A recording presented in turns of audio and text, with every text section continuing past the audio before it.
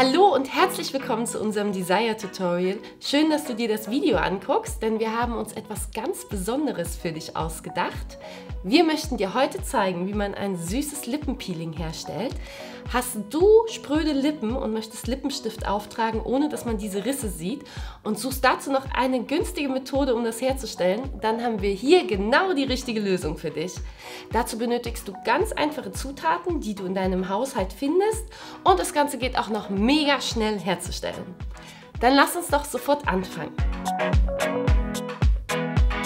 Zuallererst benötigst du eine kleine Schüssel und da packst du zwei bis drei Teelöffel Zucker hinein. Hier kannst du dich entscheiden, ob du den weißen oder lieber den braunen möchtest.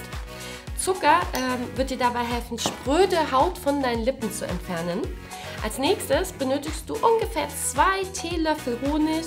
Deine Lippen sollen natürlich auch sehr geschmeidig werden. Ähm, der Honig verleiht dem Lippenpeeling eine sehr süße, einen sehr süßen Geschmack und außerdem wirkt Honig antiseptisch und damit werden kleine Risse in deinen Lippen super schnell heilen. Das Ganze wird ein bisschen fest sein und damit es cremiger wird, fügst du einfach zwei Teelöffel Olivenöl hinzu.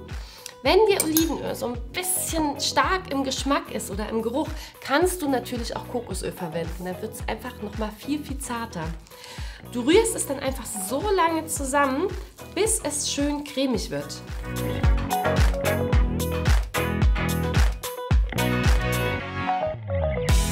So, ich habe jetzt das Lippenpeeling ungefähr zwei Minuten lang gerührt und noch ein paar Minuten stehen lassen. Das wird dann so eine klebrige Masse, wie du es hier sehen kannst. Aber das ist perfekt, um die Lippen sehr zart zu halten.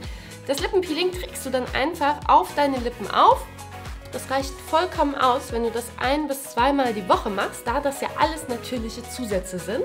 Und zum Schluss musst du dann das Lippenpeeling einfach abnehmen. Das kannst du etwas mit ein bisschen Wasser und einem Tuch machen oder du kannst es abessen, weil es ja wirklich aus Honig, Zucker und Olivenöl besteht.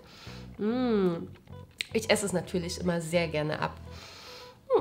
So, mit dem Rest, den musst du natürlich nicht wegschmeißen, den kannst du einfach in so kleinen Behälterchen wie diese hier aufbewahren. Das macht sich super und dann musst du es nicht jedes Mal wieder neu herstellen. Aber vor allem mag ich es auch, weil sich das super als Geschenk für meine beste Freundin macht. So, ich bin wirklich ein ganz, ganz großer Fan von diesem Lippenpeeling, weil es so einfach herzustellen ist und ich muss nicht mal das Haus verlassen, denn alle Zutaten befinden sich in meiner Küche. Ich hoffe, dir hat dieses Lippenpeeling gefallen. Äh, hinterlass uns gerne einen Kommentar, ob du noch weitere solche Themen sehen möchtest. Und dann wünsche ich dir einen zuckersüßen Tag mit ganz geschmeidigen Lippen. Tschüss!